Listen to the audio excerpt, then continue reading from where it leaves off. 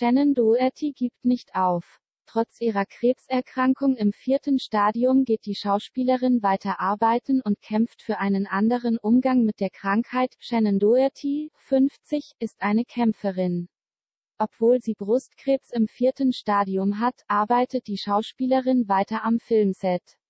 Im Februar 2015 erhielt sie erstmals die Diagnose Krebs. Nach zahlreichen Behandlungen konnte sie zunächst Entwarnung geben, aber im Februar 2020 kehrte die Krankheit zurück.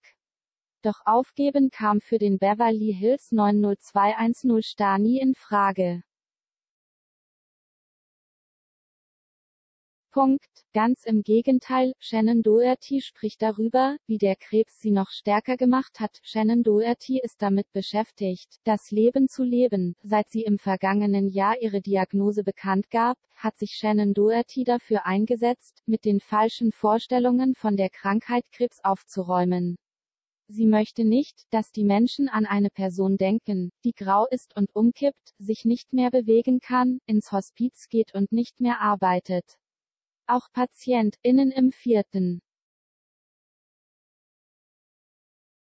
Stadium der Krankheit seien sehr wohl aktiv und lebendig. Mit ABC News sprach sie über ihr Leben mit der Krankheit und worauf jetzt der Fokus in ihrem Leben liegt.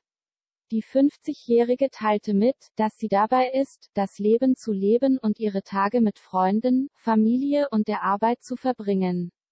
Vor allem hat die Krebsdiagnose sie aber dazu gebracht, sich auf ihre Karriere zu konzentrieren. Arbeit ist noch erfüllender geworden. Shannon Doherty möchte das Vorurteil aus der Welt schaffen, dass Menschen mit Krebs im vierten Stadium nicht in der Lage sind, wie andere zu arbeiten. Für sie selbst sei die Arbeit als Schauspielerin nach der Diagnose noch wichtiger und erfüllender geworden. Unter anderem wird am 10. Oktober ihr neuer Film List of a Lifetime im US-Fernsehen zu sehen sein. Der Film entspringt einer Aufklärungskampagne für Brustkrebs. Damit möchte sie zeigen, auch Menschen mit Krebs können arbeiten. Viele Menschen mit Krebs im Stadium 4 werden abgeschrieben, kritisiert der TV-Star, denn häufig werde angenommen, dass sie nicht mehr voll leistungsfähig sind. Shannon hofft, dass Erkrankten die Chance gegeben wird, das Gegenteil zu beweisen.